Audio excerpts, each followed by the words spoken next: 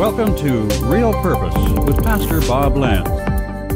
God has a real purpose for each of us here in this life. It begins first with an intentional desire to have a relationship with Jesus Christ who wants you to connect with Him. We appreciate you listening today and pray that you will join us next week for Real Purpose. Hey, welcome to Real Purpose. This is Pastor Bob Lenz, Senior Pastor of New Rock Wesleyan Church right here in Loganville, Georgia. What does it look like when your purpose and your passion collide with God's plan for your life?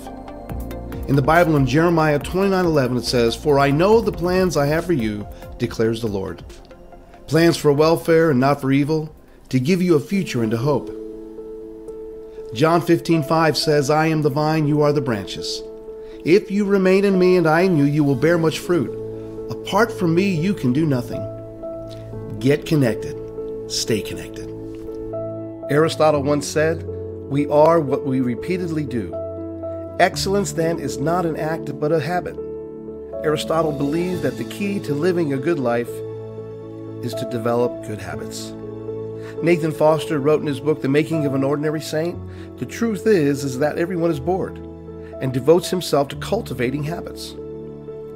Webster's dictionary defines habit as a settled or regular tendency of practice especially one that is hard to give up. Welcome to humanity. We all are creatures of habit. You see, God did create us with a free will to make a choice that we could train our minds, our bodies, our souls, and naturally to do the right thing. The issue is we all have the propensity to easily fall into unhealthy habits. We all develop habits and patterns that we live by. My first recommendation is that you make a list of your daily habits. Be transparent. Be real. Be intentional.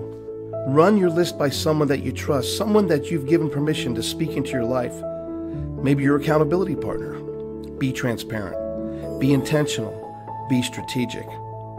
Practice letting go. Be intentional. Prayer.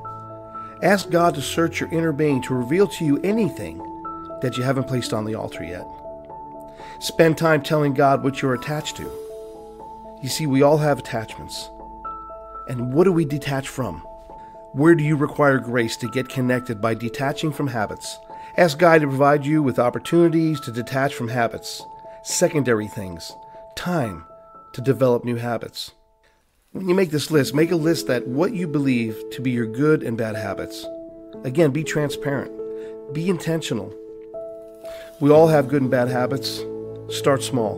List what you believe to be your good and bad habits. Be transparent. We all have good and bad habits. Which habits are you willing to give up first towards your transformation in Christ? Which habits can you celebrate today? In Romans 12:2 it says, "Do not conform to the pattern of this world, but be transformed by the renewing of your mind.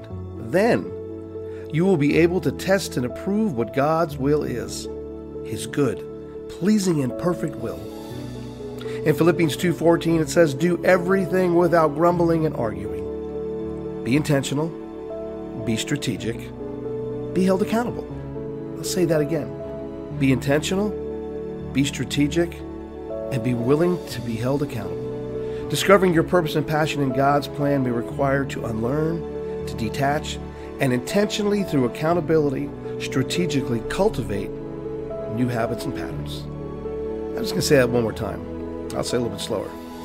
Discovering your purpose and passion in God's plan may require you to unlearn, to detach, and intentionally through accountability, strategically cultivate new habits and patterns. In Colossians 3 9 through 10, it says, Do not lie to each other, since you have taken off your old self with its practices and have put on a new self, which is being renewed in the knowledge in the image of its Creator. For those who already belong, for those followers of Christ, intentionally cultivating new habits through the indwelling control of the Holy Spirit becomes a new and consistent way of life. These new habits are described by Jesus as loving Him.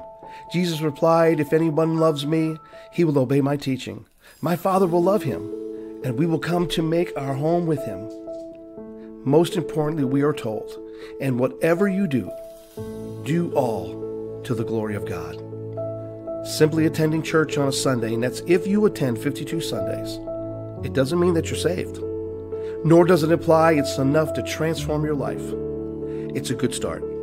Church hopping, which is another topic for a future podcast, will only delay your transformation. God will lead you to the right church if you are searching. Be intentional.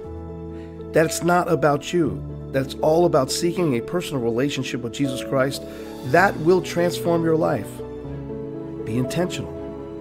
Be strategic. And remember, the maximum you give will always determine the maximum you get back. In John 15, 5, it says, I am the vine and you are the branches.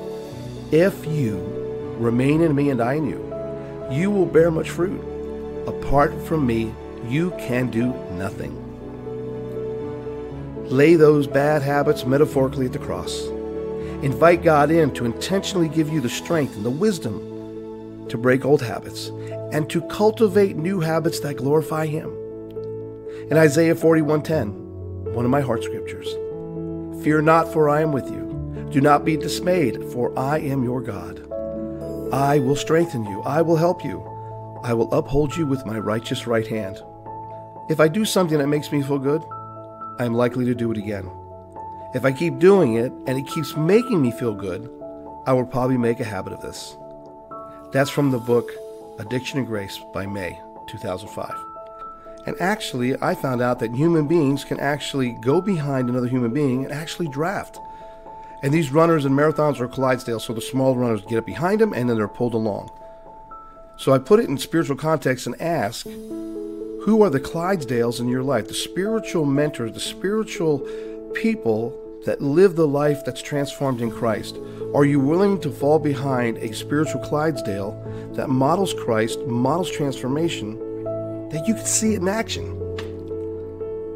You know, when I was at Skyline, I was a brand new believer. I remember we had men's university, and I remember volunteering. I wanted to go, I wanted to be part of everything. And I remember the first night we showed up it was a Thursday, and I think 438 men were sitting in the in, in, in the big room.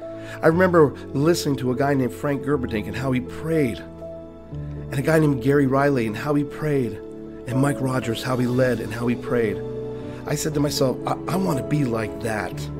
You see, these men were the Clydesdales of my life. God's got Clydesdales for you. Be open, be intentional, be strategic. Be willing. Be humble. It takes great humility to unlearn bad habits and to cultivate new ones. I'm just going to say that again.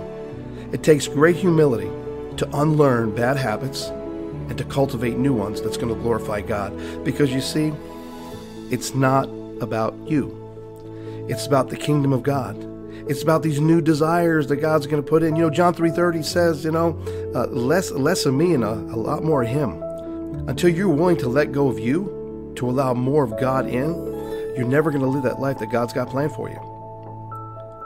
So, what habits are you living out? Are they good? Are they bad? What habits are interfering? What, what habits are the hindrances in your life that you know, as I'm speaking, that you need to detach from? I definitely recommend the book by May, you know, Addictions and Grace. And again, this is just a tool. These are just secondary things that I'm talking about that will draw you closer to God, that will give you greater potential for transformation to take place in your life. Because as transformation is taking place, God's going to use you right where you're at. Your missions field is right where you're at. And I want to pray for you. Email me, rev.boblenz at gmail.com. I want to pray for you. I want to pray for you as you are on your journey, that as you're seeking detachment from some bad habits, as you want to cultivate these new habits. Let us pray. Heavenly Father, as I pray for those that are listening in right now, I pray, Father God, the heart of a willingness to, Father, give up any bad habits, Lord. Father, that you would identify, that you would show them quite clearly any bad habits they still need to put on the altar, God. We pray out against any hindrances that would get in the way, Father God, of the transformation in their lives, Lord. I pray, God, that they would wake up in the morning and, Father, they'd have that aha moment, that they would rise up and say, I am now living my purpose and my passion. Thank you, God. And I pray this prayer in your precious and holy name, the powerful name of Jesus Christ. Amen. Hey, have a great day, and don't forget, just how much Jesus loves you. God has a real purpose for each of us here in this life. It begins first with an intentional desire to have a relationship with Jesus Christ who wants you to connect with Him.